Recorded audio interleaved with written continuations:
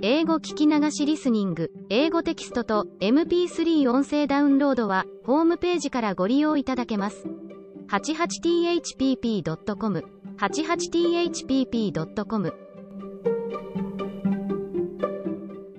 Chapter 12 Camp Lawrence. Beth was postmistress, for, being most at home, she could attend to it regularly, and dearly liked the daily task of unlocking the little door and distributing the mail. One July day she came in with her hands full, and went about the house leaving letters and parcels like the penny post. Here's your posy, mother. Laurie never forgets that, she said, putting the fresh nosegay in the vase that stood in Marmee's corner, and was kept supplied by the affectionate boy. Miss Meg March, one letter and a glove, continued Beth, delivering the articles to her sister, who sat near her mother, stitching wristbands. Why, I left a pair over there, and here is only one, said Meg, looking at the gray cotton glove. Didn't you drop the other in the garden? No, I'm sure I didn't, for there was only one in the office. I hate to have odd gloves. Never mind, the other may be found. My letter is only a translation of the German song I wanted. I think Mr. Brooke did it, for this isn't Laurie's writing. Mrs. March glanced at Meg, who was looking very pretty in her gingham morning gown, with the little curls blowing about her forehead, and very womanly, as she sat sewing at her little work table, full of tidy white rolls, so unconscious of the thought in her mother's mind as she sewed and sang, while her fingers flew and her thoughts were busied with girlish fancies as innocent and fresh as the pansies in her belt, that Mrs. March smiled and was satisfied. Two letters for Dr. Jo, a book, and a funny old hat, which covered the whole post office and stuck outside, said Beth, laughing as she went into the study where Jo sat writing. What a sly fellow Laurie is. I said I wished bigger hats were the fashion, because I burn my face every hot day. He said, Why mind the fashion? Wear a big hat, and be comfortable. I said I would if I had one, and he has sent me this, to try me. I'll wear it for fun, and show him I don't care for the fashion. And hanging the antique broad brim on a bust of Plato, Jo read her letters. One from her mother made her cheeks glow and her eyes fill, for it said to her, My dear, I write a little word to tell you with how much satisfaction I watch your efforts to control your temper. You say nothing about your trials, failures, or successes, and think, perhaps, that no one sees them but the friend whose help you daily ask, if I may trust the well worn cover of your guidebook. I, too, have seen them all, and heartily believe in the sincerity of your resolution, since it begins to bear fruit. Go on, dear, patiently and bravely, and always believe that no one sympathizes more tenderly with you than your loving mother. That does me good. That's worth millions of money and pecks of praise. Oh, Marmee, I do try. I will keep on trying, and not get tired, since I have you to help me. Laying her head on her arms, Jo wet her little romance with a few happy tears, for she had thought that no one saw and appreciated her efforts to be good, and this assurance was doubly precious, doubly encouraging, because unexpected and from the person whose commendation she most valued. Feeling stronger than ever to meet and subdue her Apollyon, she pinned the note inside her frock, as a shield and a reminder, lest she be taken unaware, and proceeded to open her other letter, quite ready for either good or bad news. In a big, dashing hand, Laurie wrote Dear Jo, what ho! Some English girls and boys are coming to see me tomorrow, and I want to have a jolly time. If it's fine, I'm going to pitch my tent in Longmeadow, and row up the whole crew to lunch and croquet, have a fire, make messes, gypsy fashion, and all sorts of larks. They are nice people, and like such things. Brooke will go to keep us boys steady, and Kate Vaughn will play propriety for the girls. I want you all to come, can't let Beth off at any price, and nobody shall worry her. Don't bother about rations, I'll see to that and everything else, only do come, there's a good fellow. In a tearing hurry, yours ever, Laurie. Here's richness, cried Jo, flying in to tell the news to Meg. Of course we can go, mother. It will be such a help to Laurie, for I can row, and Meg see to the lunch, and the children be useful in some way. I hope the Vaughns are not fine grown up people. Do you know anything about them, Jo? Asked Meg. Only that there are four of them. Kate is older than you, Fred and Frank, twins, about my age, and a little girl, Grace, who is nine or ten. Laurie knew them abroad, and liked the boys. I fancied, from the way he primed up his mouth in speaking of her, that he didn't admire Kate much. I'm so glad my French print is clean, it's just the thing and so becoming. Observed Meg complacently. Have you anything decent, Jo? Scarlet and gray boating suit, good enough for me. I shall row and tramp about, so I don't want any starch to think of. You'll come, Betty? If you won't let any boys talk to me. Not a boy. I like to please Laurie, and I'm not afraid of Mr. Brooke, he is so kind. But I don't want to play, or sing, or say anything. I'll work hard and not trouble anyone, and you'll take care of me, Jo, so I'll go. That's my good girl. You do try to fight off your shyness, and I love you for it. Fighting faults isn't easy, as I know, and a cheery word kind of gives a lift. Thank you, Mother, and Jo gave the thin cheek a grateful kiss, more precious to Mrs. March than if it had given back the rosy roundness of her youth. I had a box of chocolate drops, and the picture I wanted to copy, said Amy, showing her mail.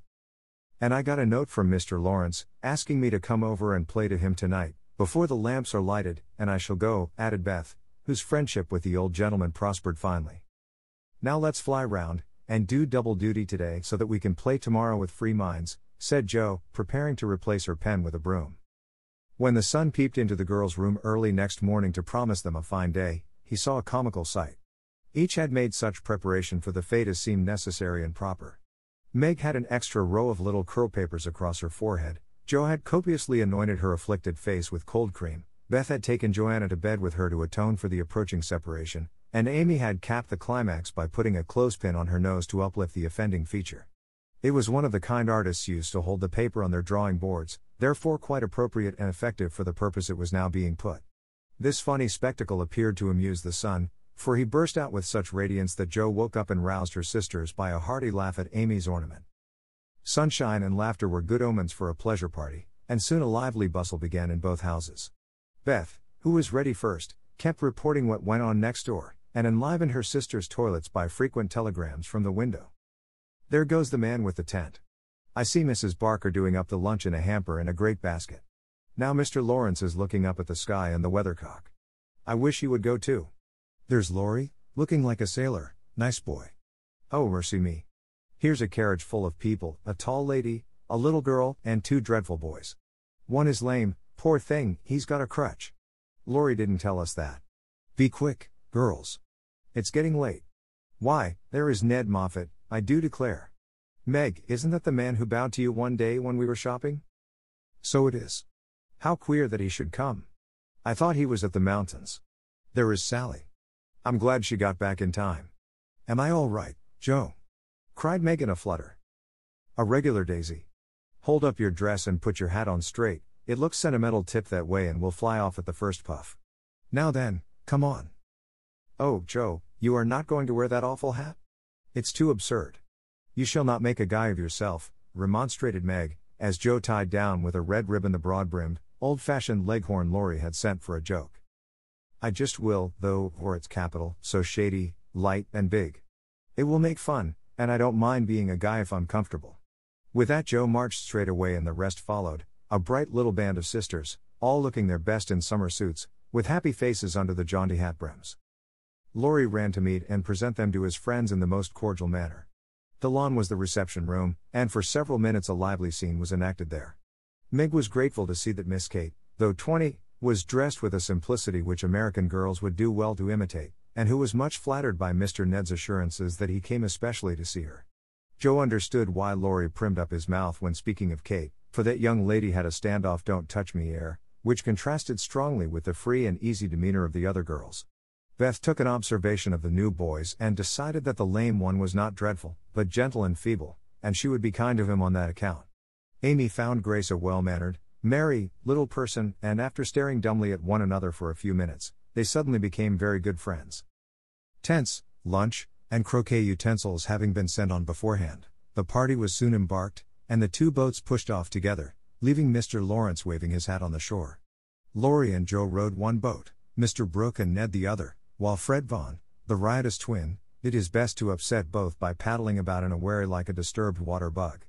Jo's funny hat deserved a vote of thanks, for it was of general utility. It broke the ice in the beginning by producing a laugh, it created quite a refreshing breeze, flapping to and fro as she rode, and would make an excellent umbrella for the whole party, if a shower came up, she said. Miss Kate decided that she was odd, but rather clever, and smiled upon her from afar. Meg, in the other boat, was delightfully situated, face to face with the rowers, who both admired the prospect and feathered their oars with uncommon skill and dexterity. Mr. Brooke was a grave, silent young man, with handsome brown eyes and a pleasant voice. Meg liked his quiet manners and considered him a walking encyclopedia of useful knowledge. He never talked to her much, but he looked at her a good deal, and she felt sure that he did not regard her with aversion.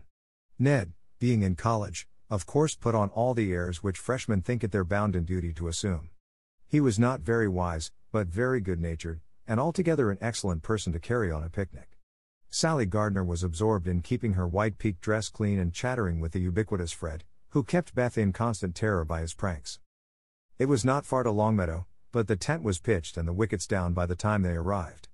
A pleasant green field, with three wide spreading oaks in the middle and a smooth strip of turf for croquet. Welcome to Camp Lawrence, said the young host, as they landed with exclamations of delight.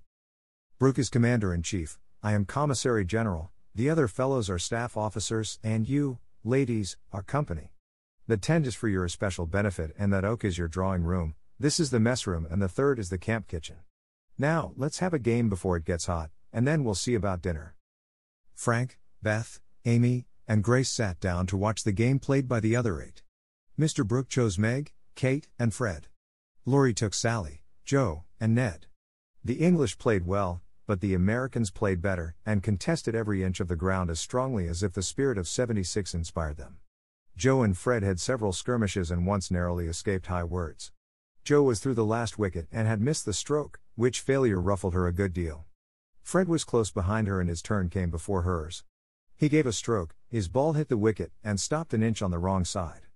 No one was very near, and running up to examine, he gave it a sly nudge with his toe, which put it just an inch on the right side.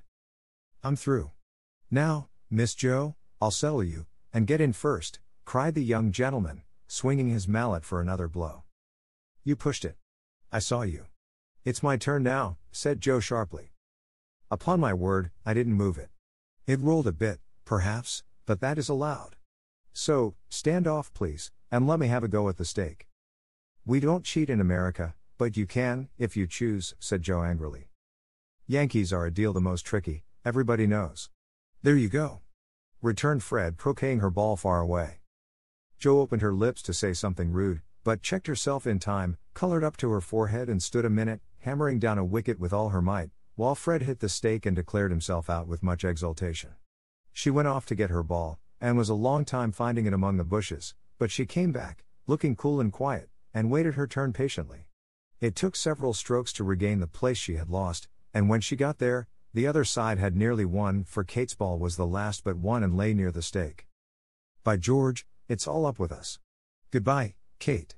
Miss Jo owes me one, so you are finished, cried Fred excitedly, as they all drew near to see the finish. Yankees have a trick of being generous to their enemies, said Jo, with a look that made the lad redden, especially when they beat them, she added, as, leaving Kate's ball untouched, she won the game by a clever stroke. Laurie threw up his hat, then remembered that it wouldn't do to exult over the defeat of his guests, and stopped in the middle of the cheer to whisper to his friend, Good for you, Jo. He did cheat, I saw him. We can't tell him so, but he won't do it again, take my word for it. Meg drew her aside, under pretense of pinning up a loose braid, and said approvingly, It was dreadfully provoking, but you kept your temper, and I'm so glad, Jo. Don't praise me, Meg, for I could box his ears this minute.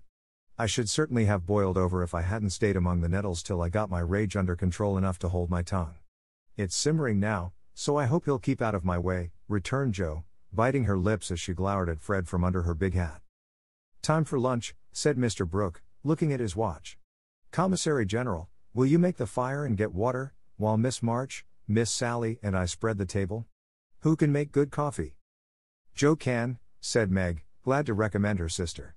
So Jo, feeling that her late lessons in cookery were to do her honor, went to preside over the coffee pot, while the children collected dry sticks, and the boys made a fire and got water from a spring nearby. Miss Kate sketched and Frank talked to Beth, who was making little mats of braided rushes to serve as plates. The commander in chief and his aides soon spread the tablecloth with an inviting array of eatables and drinkables, prettily decorated with green leaves. Jo announced that the coffee was ready, and everyone settled themselves to a hearty meal, for youth is seldom dyspeptic, and exercise develops wholesome appetites. A very merry lunch it was, for everything seemed fresh and funny, and frequent peals of laughter startled a venerable horse who fed nearby. There was a pleasing inequality in the table, which produced many mishaps to cups and plates, acorns dropped in the milk, Little black ants partook of the refreshments without being invited, and fuzzy caterpillars swung down from the tree to see what was going on. Three white headed children peeped over the fence, and an objectionable dog barked at them from the other side of the river with all his might and main. There's salt here, said Laurie, as he handed Jo a saucer of berries. Thank you, I prefer spiders, she replied, fishing up two unwary little ones who had gone to a creamy death. How dare you remind me of that horrid dinner party, when yours is so nice in every way? Added Jo, as they both laughed and ate out of one plate, the china having run short. I had an uncommonly good time that day, and haven't got over it yet. This is no credit to me, you know, I don't do anything. It's you and Meg and Brooke who make it all go, and I'm no end obliged to you. What shall we do when we can't eat any more? asked Laurie, feeling that his trump card had been played when lunch was over. Have games till it's cooler. I brought authors, and I dare say Miss Kate knows something new and nice. Go and ask her. She's company, and you ought to stay with her more. Aren't you company too? I thought she'd suit Brooke, but he keeps talking to Meg, and Kate just stares at them through that ridiculous glass of hers. I'm going, so you needn't try to preach propriety, for you can't do it, Jo. Miss Kate did know several new games, and as the girls would not, and the boys could not, eat any more, they all adjourned to the drawing room to play rigmarole. One person begins a story, any nonsense you like, and tells as long as he pleases, only taking care to stop short at some exciting point, when the next takes it up and does the same. It's very funny when well done, and makes a perfect jumble of tragical comical stuff to laugh over. Please start it, Mr. Brooke, said Kate, with a commanding air, which surprised Meg, who treated the tutor with as much respect as any other gentleman. Lying on the grass at the feet of the two young ladies, Mr. Brooke obediently began the story, with the handsome brown eyes steadily fixed upon the sunshiny river. Once on a time, a knight went out into the world to seek his fortune, for he had nothing but his sword and his shield. He travelled a long while, nearly eight and twenty years, and had a hard time of it, till he came to the palace of a good old king, who had offered a reward to anyone who could tame and train a fine but unbroken colt, of which he was very fond. The knight agreed to try, and got on slowly but surely, for the colt was a gallant fellow, and soon learned to love his new master, though he was freakish and wild. Every day, when he gave his lessons to this pet of the king's, the knight rode him through the city, and as he rode, he looked everywhere for a certain beautiful face, which he had seen many times in his dreams, but never found. One day, as he went prancing down a quiet street, he saw at the window of a ruinous castle the lovely face. He was delighted, inquired who lived in this old castle, and was told that several captive princesses were kept there by a spell, and spun all day to lay up money to buy their liberty. The knight wished intensely that he could free them, but he was poor and could only go by each day, watching for the sweet face and longing to see it out in the sunshine. At last he resolved to get into the castle and ask how he could help them. He went and knocked. The great door flew open, and he beheld a ravishingly lovely lady, who exclaimed, with a cry of rapture, At last! At last! Continued Kate, who had read French novels, and admired the style. Tis she! cried Count Gustav, and fell at her feet in an ecstasy of joy. Oh, rise! She said, extending a hand of marble fairness. Never! Till you tell me how I may rescue you, swore the knight, still kneeling. Alas, my cruel fate condemns me to remain here till my tyrant is destroyed. Where is the villain? In the Mauve Salon. Go, brave heart, and save me from despair. I obey, and return victorious or dead. With these thrilling words, he rushed away, and flinging open the door of the Mauve Salon, was about to enter, when he received a stunning blow from the big Greek lexicon, which an old fellow in a black gown fired at him, said Ned. Instantly, Sir What's His Name recovered himself, pitched the tyrant out of the window, and turned to join the lady, victorious, but with a bump on his brow, found the door locked, tore up the curtains, made a rope ladder, got halfway down when the ladder broke, and he went headfirst into the moat, 60 feet below. Could swim like a duck, paddled round the castle till he came to a little door guarded by two stout fellows, knocked their heads together till they cracked like a couple of nuts, then, by a trifling exertion of his prodigious strength, he smashed in the door, went up a pair of stone steps covered with dust a foot thick, toads as big as your fist, and spiders that would frighten you into hysterics, Miss March. At the top of these steps he came plump upon a sight that took his breath away and chilled his blood. A tall figure, all in white with a veil over its face and a lamp in its wasted hand, went on Meg. It beckoned, gliding noiselessly before him down a corridor as dark and cold as any tomb. Shadowy effigies in armor stood on either side, a dead silence reigned, the lamp burned blue, and the ghostly figure ever and anon turned its face toward him, showing the glitter of awful eyes through its white veil. They reached a curtain door, behind which sounded lovely music. He sprang forward to enter, but the spectre plucked him back, and waved threateningly before him a Snuffbox, said Jo, in a sepulchral tone, which convulsed the audience. Thank ye, said the knight politely, as he took a pinch and sneezed seven times so violently that his head fell off. Ha! Ha! laughed the ghost, and having peeped through the keyhole at the princess's spinning away for dear life, the evil spirit picked up her victim and put him in a large tin box, where there were eleven other knights packed together without their heads, like sardines, who all rose and began to dance a hornpipe, cut in Fred, as Jo paused for breath, and, as they danced, the rubbishy old castle turned to a man of war in full sail. Up with the jib, reef the topsail halyards, helm heartily, and man the guns. Roared the captain, as a Portuguese pirate hove in sight, with a flag black as ink flying from her foremast. Go in and win, my hearties. Says the captain, and a tremendous fight began. Of course, the British beat, they always do. No, they don't, cried Jo, aside having taken the pirate captain prisoner, sailed slap over the schooner, whose decks were piled high with dead and whose lee scuppers ran blood, for the order had been cutlasses, and die hard. Boatswain's mate, take a bite of the flying jib sheet, and start this villain if he doesn't confess his sins double quick, said the British captain. The Portuguese held his tongue like a brick, and walked the plank, while the jolly tars cheered like mad. But the sly dog dived, came up under the man of war, scuttled her, and down she went, with all sail set, to the bottom of the sea, sea, See where. Oh, gracious. What shall I say? Cried Sally, as Fred ended his rigmarole, in which he had jumbled together pell mell nautical phrases and facts out of one of his favorite books. Well, they went to the bottom, and a nice mermaid welcomed them, but was much grieved on finding the box of headless knights, and kindly pickled them in brine, hoping to discover the mystery about them, for being a woman, she was curious. By and by a diver came down, and the mermaid said, I'll give you a box of pearls if you can take it up for she wanted to restore the poor things to life, and couldn't raise the heavy load herself. So the diver hoisted it up, and was much disappointed on opening it to find no pearls. He left it in a great lonely field, where it was found by a little goose girl, who kept a hundred fat geese in the field, said Amy, when Sally's invention gave out. The little girl was sorry for them, and asked an old woman what she should do to help them. Your geese will tell you, they know everything. Said the old woman. So she asked what she should use for new heads, since the old ones were lost, and all the geese opened their hundred mouths and screamed. Cabbages. Continued Laurie promptly. Just the thing, said the girl, and ran to get twelve fine ones from her garden.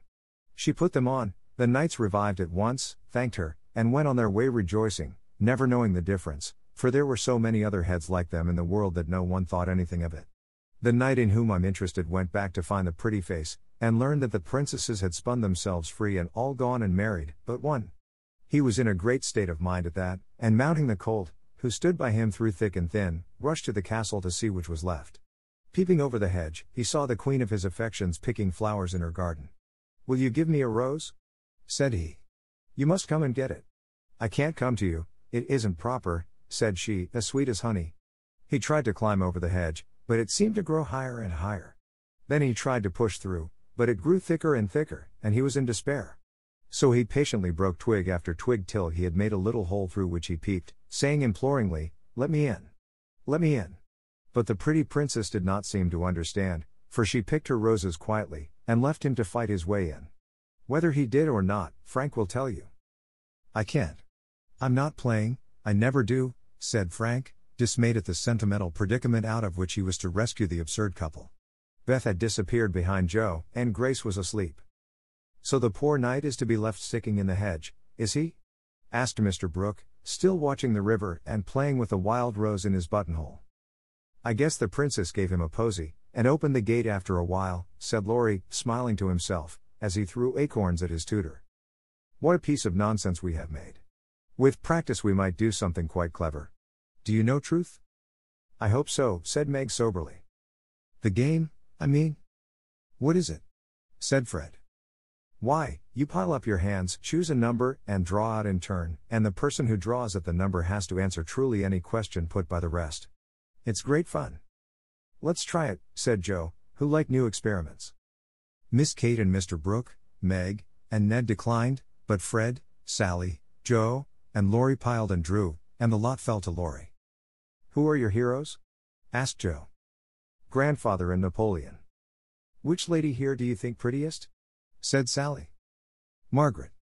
Which do you like best? From Fred. Jo, horse. What silly questions you ask. And Jo gave a disdainful shrug as the rest laughed at Laurie's matter of fact tone. Try again. Truth isn't a bad game, said Fred. It's a very good one for you, retorted Jo in a low voice. Her turn came next. What is your greatest fault? asked Fred, by way of testing in her the virtue he lacked himself. A quick temper. What do you most wish for? said Laurie. A pair of boot lacings, returned Jo, guessing and defeating his purpose. Not a true answer. You must say what you really do want most. Genius. Don't you wish you could give it to me, Laurie? And she slyly smiled in his disappointed face. What virtues do you most admire in a man? asked Sally. Courage and honesty. Now my turn, said Fred, as his hand came last. Let's give it to him, whispered Laurie to Jo, who nodded and asked at once. Didn't you cheat at croquet? Well, yes, a little bit. Good. Didn't you take your story out of the sea lion? said Laurie. Rather. Don't you think the English nation perfect in every respect? asked Sally. I should be ashamed of myself if I didn't. He's a true John Bull. Now, Miss Sally, you shall have a chance without waiting to draw. I'll harrow up your feelings first by asking if you don't think you are something of a flirt, said Laurie, as Jo nodded to Fred as a sign that peace was declared. You impertinent boy. Of course I'm not, exclaimed Sally, with an air that proved the contrary. What do you hate most? asked Fred. Spiders and rice pudding. What do you like best? asked Jo. Dancing in French gloves. Well, I think truth is a very silly play. Let's have a sensible game of authors to refresh our minds, proposed Jo. Ned, Frank, and the little girls joined in this, and while it went on, the three elders sat apart, talking. Miss Kate took out her sketch again, and Margaret watched her, while Mr. Brooke lay on the grass with a book, which he did not read. How beautifully you do it. I wish I could draw, said Meg, with mingled admiration and regret in her voice. Why don't you learn? I should think you had taste and talent for it, replied Miss Kate graciously. I haven't time. Your mamma prefers other accomplishments, I fancy. So did mine, but I proved to her that I had talent by taking a few lessons privately, and then she was quite willing I should go on. Can't you do the same with your governess? I have none. I forgot young ladies in America go to school more than with us. Very fine schools they are, too, Papa says. You go to a private one, I suppose? I don't go at all. I am a governess myself. Oh, indeed, said Miss Kate, but she might as well have said, Dear me, how dreadful. For her tone implied it, and something in her face made Meg color, and wish she had not been so frank. Mr. Brooke looked up and said quickly, Young ladies in America love independence as much as their ancestors did, and are admired and respected for supporting themselves. Oh, yes, of course it's very nice and proper in them to do so. We have many most respectable and worthy young women who do the same and are employed by the nobility, because, being the daughters of gentlemen, they are both well bred and accomplished, you know, said Miss Kate in a patronizing tone that hurt Meg's pride, and made her work seem not only more distasteful, but degrading. Did the German song suit, Miss March? inquired Mr. Brooke, breaking an awkward pause. Oh, yes. It was very sweet, and I'm much obliged to whoever translated it for me. And Meg's downcast face brightened as she spoke. Don't you read German? asked Miss Kate with a look of surprise. Not very well. My father, who taught me, is away, and I don't get on very fast alone, for I've no one to correct my pronunciation. Try a little now. Here is Schiller's Mary Stuart and a tutor who loves to teach. And Mr. Brooke laid his book on her lap with an inviting smile. It's so hard I'm afraid to try, said Meg, grateful but bashful in the presence of the accomplished young lady beside her. I'll read a bit to encourage you. And Miss Kate read one of the most beautiful passages in a perfectly correct but perfectly expressionless manner. Mr. Brooke made no comment as she returned the book to Meg, who said innocently, I thought it was poetry. Some of it is. Try this passage. There was a queer smile about Mr. Brooke's mouth as he opened at poor Mary's lament. Meg obediently following the long grass blade which her new tutor used to point with, read slowly and timidly, unconsciously making poetry of the hard words by the soft intonation of her musical voice. Down the page went the green guide, and presently, forgetting her listener in the beauty of the sad scene, Meg read as if alone, giving a little touch of tragedy to the words of the unhappy queen. If she had seen the brown eyes then, she would have stopped short, but she never looked up, and the lesson was not spoiled for her. Very well indeed, said Mr. Brooke, as she paused, quite ignoring her many mistakes, and looking as if he did indeed love to teach. Miss Kate put up her glass, and, having taken a survey of the little tableau before her, shut her sketchbook, saying with condescension, You've a nice accent and in time will be a clever reader. I advise you to learn, for German is a valuable accomplishment to teachers. I must look after Grace, she is romping. And Miss Kate strolled away, adding to herself with a shrug, I didn't come to chaperone a governess, though she is young and pretty. What odd people these Yankees are. I'm afraid Laurie will be quite spoiled among them. I forgot that English people rather turn up their noses at governesses and don't treat them as we do, said Meg, looking after the retreating figure with an annoyed expression. Tutors also have rather a hard time of it there, as I know to my sorrow. There's no place like America for us workers, Miss Margaret. And Mr. Brooke looked so contented and cheerful that Meg was ashamed to lament her hard lot. I'm glad I live in it then. I don't like my work, but I get a good deal of satisfaction out of it after all, so I won't complain. I only wished I liked teaching as you do. I think you would if you had Laurie for a pupil. I shall be very sorry to lose him next year, said Mr. Brooke, busily punching holes in the turf. Going to college, I suppose. Meg's lips asked the question, but her eyes added, And what becomes of you? Yes, it's high time he went, for he is ready, and as soon as he is off, I shall turn soldier. I am needed. I am glad of that, exclaimed Meg. I should think every young man would want to go, though it is hard for the mothers and sisters who stay at home, she added sorrowfully. I have neither and very few friends to care whether I live or die, said Mr. Brooke rather bitterly as he absently put the dead rose in the hole he had made and covered it up, like a little grave. Laurie and his grandfather would care a great deal, and we should all be very sorry to have any harm happen to you, said Meg heartily. Thank you, that sounds pleasant, began Mr. Brooke, looking cheerful again, but before he could finish his speech, Ned, mounted on the old horse, came lumbering up to display his equestrian skill before the young ladies, and there was no more quiet that day. Don't you love to ride?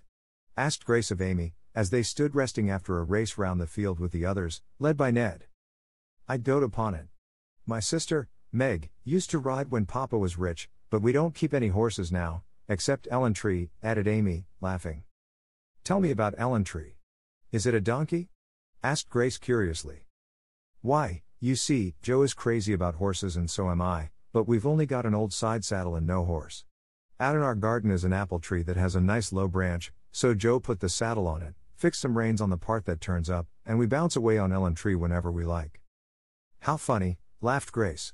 I have a pony at home and ride nearly every day in the park with Fred and Kate. It's very nice, for my friends go too, and the row is full of ladies and gentlemen. Dear, how charming. I hope I shall go abroad some day, but I'd rather go to Rome than the Row, said Amy, who had not the remotest idea what the Row was and wouldn't have asked for the world. Frank, sitting just behind the little girls, heard what they were saying, and pushed his crutch away from him with an impatient gesture as he watched the active lads going through all sorts of comical gymnastics. Beth, who was collecting the scattered author cards, looked up and said, in her shy yet friendly way, I'm afraid you are tired. Can I do anything for you? Talk to me, please. It's dull, sitting by myself, answered Frank, who had evidently been used to being made much of at home. If he asked her to deliver a Latin oration, it would not have seemed a more impossible task to bashful Beth, but there was no place to run to, no Jo to hide behind now, and the poor boy looked so wistfully at her that she bravely resolved to try. What do you like to talk about? she asked, fumbling over the cards and dropping half as she tried to tie them up. Well, I like to hear about cricket and boating and hunting, said Frank, who had not yet learned to suit his amusements to his strength. My heart. What shall I do? I don't know anything about them, thought Beth, and forgetting the boy's misfortune in her flurry, she said, hoping to make him talk, I never saw any hunting, but I suppose you know all about it. I did once, but I can never hunt again, for I got hurt leaping a confounded five barred gate, so there are no more horses and hounds for me, said Frank with a sigh that made Beth hate herself for her innocent blunder. Your deer are much prettier than our ugly buffaloes, she said, turning to the prairies for help and feeling glad that she had read one of the boy's books in which Jo delighted. Buffaloes proved soothing and satisfactory, and in her eagerness to amuse another, Beth forgot herself, and was quite unconscious of her sister's surprise and delight at the unusual spectacle of Beth talking away to one of the dreadful boys, against whom she had begged protection. Bless her heart. She pities him, so she is good to him, said Jo, beaming at her from the croquet ground. I always said she was a little saint, added Meg, as if there could be no further doubt of it. I haven't heard Frank laugh so much for ever so long, said Grace to Amy, as they sat discussing dolls and making tea sets out of the acorn cups. My sister Beth is a very fastidious girl, when she likes to be, said Amy, well pleased at Beth's success. She meant fascinating, but as Grace didn't know the exact meaning of either word, fastidious sounded well and made a good impression. An impromptu circus, fox and geese, and an amicable game of croquet finished the afternoon. At sunset, the tent was struck, hampers packed, wickets pulled up, boats loaded, and the whole party floated down the river, singing at the tops of their voices. Ned, getting sentimental, warbled a serenade with the pensive refrain Alone, alone, ah. Whoa, alone. And at the lines We each are young, we each have a heart. Oh, why should we stand thus coldly apart? He looked at Meg with such a lackadaisical expression that she laughed outright and spoiled his song. How can you be so cruel to me? He whispered, under cover of a lively chorus. You've kept close to that starched up Englishwoman all day, and now you snub me. I didn't mean to, but you looked so funny I really couldn't help it, replied Meg, passing over the first part of his reproach, for it was quite true that she had shunned him, remembering the Moffat party and the talk after it. Ned was offended and turned to Sally for consolation, saying to her rather pettishly, There isn't a bit of flirt in that girl, is there? Not a particle, but she's a dear, returned Sally, defending her friend even while confessing her shortcomings. She's not a stricken dear anyway, said Ned, trying to be witty, and succeeding as well as very young gentlemen usually do. On the lawn where it had gathered, the little party separated with cordial good nights and goodbyes, for the Vaughns were going to Canada. As the four sisters went home through the garden, Miss Kate looked after them, saying, without the patronizing tone in her voice, in spite of their demonstrative manners, American girls are very nice when one knows them. I quite agree with you, said Mr. Brooke. 物語の続きは、ホームページからお聞きいただけます。また、テキスト、MP3 ダウンロードも合わせてご利用ください。88thpp.com 88thpp.com